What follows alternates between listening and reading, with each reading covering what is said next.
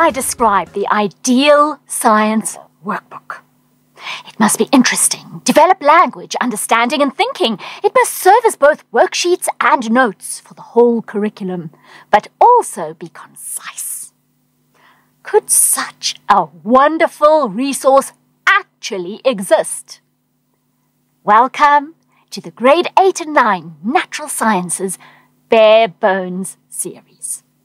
Available in full colour, in printed and interactive PDF formats. The printed versions come in the cheaper paper-based format and a more durable laminated version where your learners can write with whiteboard marker pens, then wipe clean, ready to answer again, maybe by another group or by the next year of learners.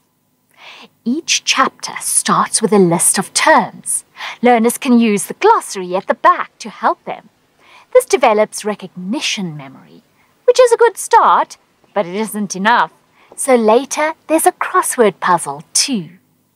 Besides those, there are a variety of highly structured activities which guide learners systematically through the curriculum content in a way that is language and thinking supportive. What do I mean? Let's take this activity as an example.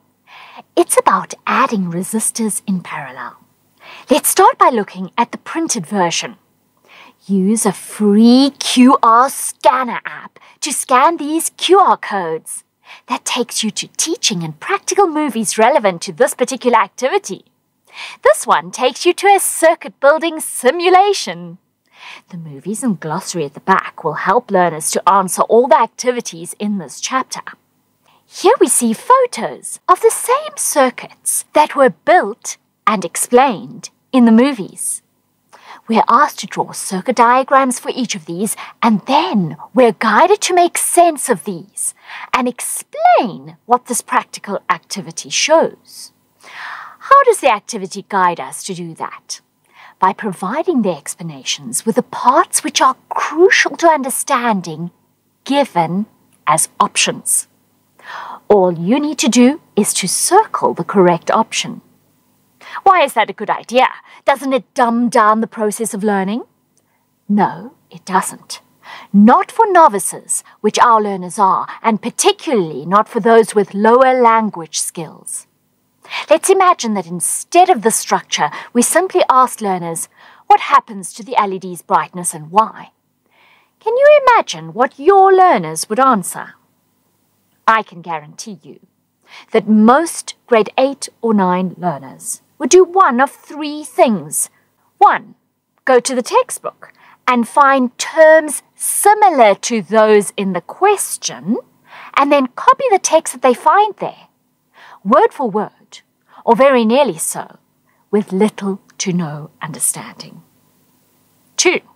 Give a partial answer to fill the gap, but with little to no understanding. Or 3. Leave it blank. The way Barebones is designed, the learners are guided through the thinking, with the necessary language support provided. And at the crucial points in explanations like this one, they're given a choice that improves the likelihood that they'll make sense of the work and so get to understand it. Of course, you as the teacher would go through the work later and help the learners with corrections. The corrected work serves as notes for the learners to refer to as they prepare for their exams. I'm sure as a teacher you will also appreciate the practical, time-saving aspect of this format. And we as teachers always need that to survive this enormously complex and demanding task of teaching. Of course, if you're able to, you should supplement these activities with other more open-ended questions once the learners have mastered the content and been guided with the language needed. Let's quickly look at the same activity in the interactive PDF version of this book.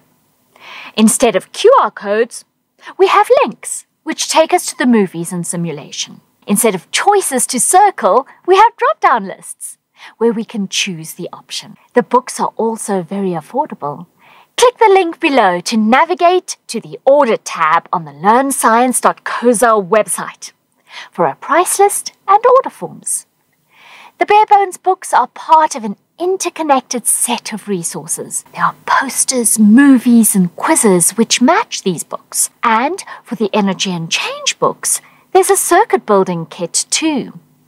Explore the orders, bare bones, electric circuits, electronic resources, and posters tabs for more information about each of these. I hope that you can see that these books and accompanying resources were designed very intentionally. They're the product of my 20 years of science classroom teaching, as well as 10 years of work in science teacher education, including mentorship of South African science teachers teaching in typical South African schools. If you're interested, you can read an academic article that I've written justifying the approach taken in these books in the link below. Check out www.learnscience.co.za for more information about resources and competitions to help you teach science better and to ignite your learners' minds as they learn science.